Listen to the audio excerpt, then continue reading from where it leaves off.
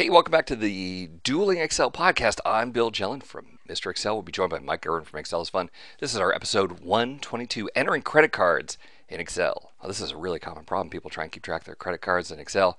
Uh, Annabeth is uh, trying to enter credit card numbers and she's losing the last digit every single time. Here, let's try it 4300, 2222, 3333, 4444. Bam, that last four goes away, replaced by a zero. Uh, expiration date, so we have an ex- expiration date of 2, 2017, and we lose the leading zero. Three digit code, 123, works great, but 023, ah, lose the le- leading zero. All right. The problem here is that Excel only deals with 15 digits of precision.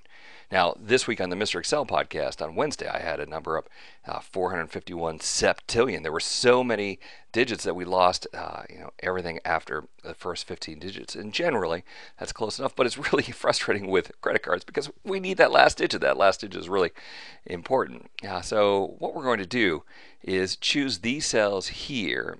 And actually, I'm going to do it uh, all of these and go to the Home tab uh, change from a number format to a text format. Text format says, hey, let me enter whatever I want. Don't try and treat it as a number. Don't try and use any of your Excel mojo on it.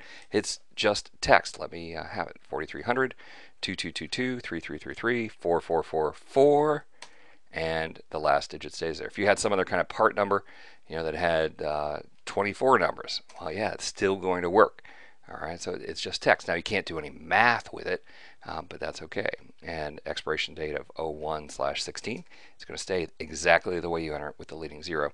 Over here with the three digit code, I'm not going to convert that to text. I'm just going to do control one and a custom number format of three zeros, one, two, three, like that. And you see that then we enter 023. Now I need to copy that formatting down here. Custom two, three. I could have done pay special formats, but just as fast. All right, so let's try something else. 3700, 2222, 3333, 4444. It stays, and 0117 stays, and uh, 047 stays. There we go. A little bit of formatting.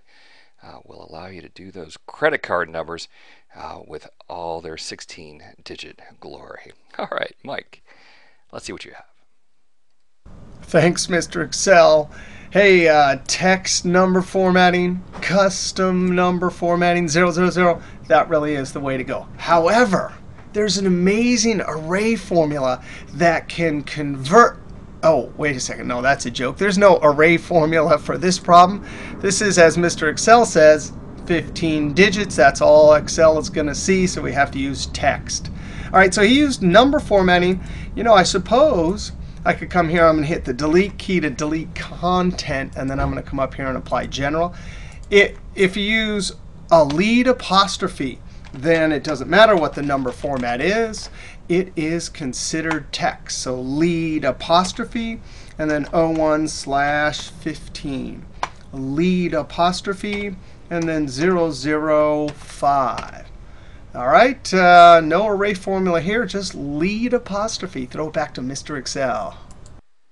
Mike, that's beautiful. This is a record. This is the first dueling podcast in months where you haven't kicked out an array formula and I haven't kicked out some VBA.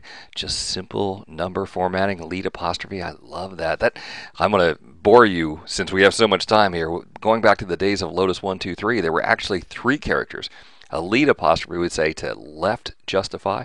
A uh, lead double quote would say to right justify. And a lead caret, shift six, the little hat there, um, would say to center the entry. So those were Lotus 123 uh, uh, formatting commands. And so the lead apostrophe uh, still works to this day in Excel.